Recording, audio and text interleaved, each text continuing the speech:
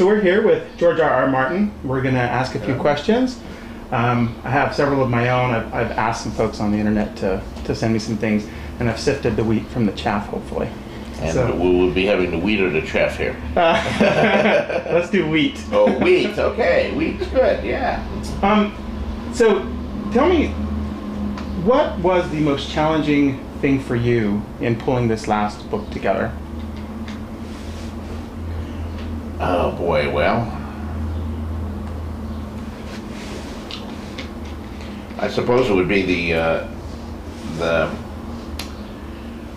what I call the Meereenese knot, uh, which I blogged about a, a number of times on my uh, not a blog, where a number of uh, characters, viewpoint characters, and events come together in the city Meereen, where Daenerys Targaryen has established herself, and figuring out the correct order of those things and which event should follow which event and which character should arrive and what viewpoint it all should be told from uh, drove me crazy for a long time. I kept attacking it from different angles and changing the order of arrival and uh, moving things about and trying it from this viewpoint and saying, no, no, it'd be better from that viewpoint. And hopefully I finally solved it, but, uh, you know, we shall see.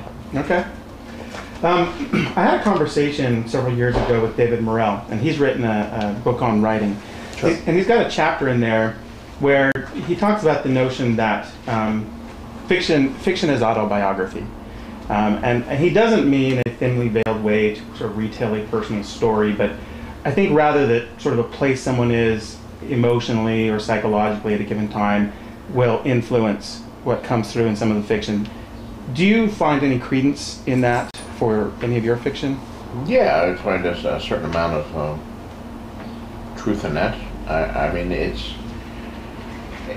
in some ways it comes back to the thing you're always getting in, you know, creative writing classes in college and all that, where the where the professors will say, "Write what you know," um, and that's often misinterpreted to mean you should write a thinly veiled autobiography, as as uh, you know, you refer to uh, a graduate student in English literature writing a story in which the hero is a graduate student in English literature. Yeah. And it would seem to, on the surface, disallow science fiction and fantasy and so forth, since none of us are actually barbarians or knights or lords or even peasants.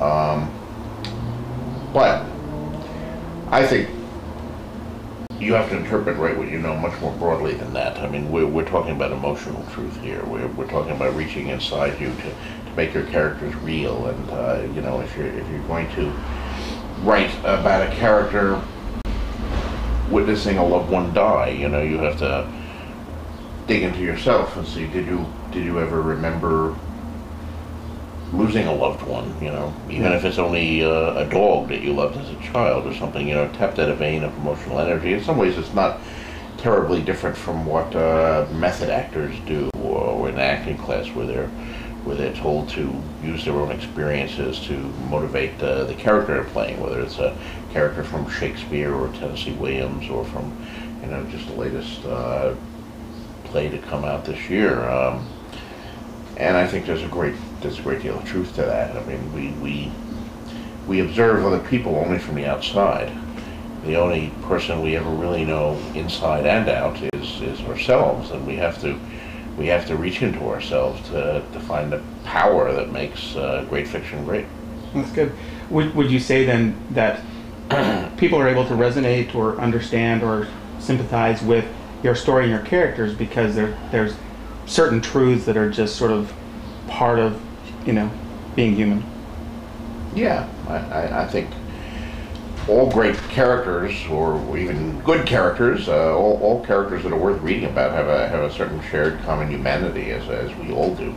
And if they're a viewpoint character, you know, the, the intent there is that the reader will identify with them, at least for the process of uh, of understanding a story. The reader is literally slipping into their shoes and putting on their clothes, and for that chapter or for that book, it is living vicariously through the through the viewpoint character that the that the writer has uh, has given them. Now, even if that viewpoint character is someone that uh, at a distance they might say, "I don't like this character. I don't approve of this character. Uh, this character does things that I find reprehensible." When you're actually reading about that character and experiencing and you know hearing that character's thoughts, the world should should make sense. You are that character for a little for a little bit of time anyway. Yeah. Um, tell me, what do you think the fantasy genre does particularly well or better than other genres? I wrote something uh, which I can't memorize completely here for the Faces of Fantasy, where we had to write a little essay on fantasy to go with our picture in, in that book, uh, Patti Perret, a number of years ago. And I, I've always liked uh, what I said there, which was basically that fantasy, you know, gives us the colors. Fantasy is, is strong emotion and, and red wine and, and dreams and visions. It's, it's life imagined more intensely and lived more intensely, vicariously as we read about it than, than our own lives do. We, we can experience great loves and great tragedies and do things that we would never do in real life. I mean, it's the whole reason I think that most people read, Yeah. uh, and particularly why they read fiction. The non-reader, I, I like to say, just lives one life, while the reader lives a thousand Okay. lives and uh, does amazing things, climbs mountains and flies to other planets and explores the bottom of the sea and you know loves a hundred women or a hundred men or um, lives and dies and gives birth to children and, and conquers kingdoms and, and all of that. You experience that only in fiction, Yeah. and uh, most of us anyway. Yeah. Tell me, um, how do you how do you think your own writing has evolved? You've been doing this a lot of years, uh, from early '90s to today. Early 90s, early 70s, Early 70s. 1971. I was thinking from the start of the series, but yeah, let's go back to the '70s. Well, you know, as you as you grow and change, your your uh, obsessions change. I mean, this is, I guess, goes back to the write what you know thing, the autobiographical stuff.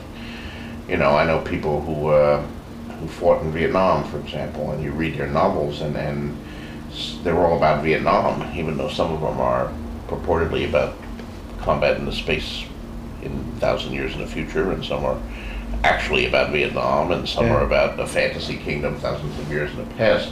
You can see they're working through these uh, these life experiences that were very important, but ultimately. Uh, the writer gets beyond that and, and says, well, now I'm going to write about this other thing that, that uh, concerns me. Uh, you know, you can look at my early stories from the 70s, and uh, there was an awful lot of uh, stories about unrequited love and deeply romantic things, and stories about traveling to distant planets and all that, uh, in which I was working on some of my own issues at the time. Um, but uh, I've I'm proud of those stories. I'm glad I wrote them. I think I'm a better writer now than I was then. That's certainly on a sentence by sentence level. but also my concerns have changed. And uh, Ice and Fire is a, is a much bigger work, and it has, I don't know that I would say bigger concerns because nothing is more important than you know questions of, of love and the purpose of life and existential loneliness and the things I was treating with back then. But it certainly has more concerns, and it, it's working on a, a whole number of different levels.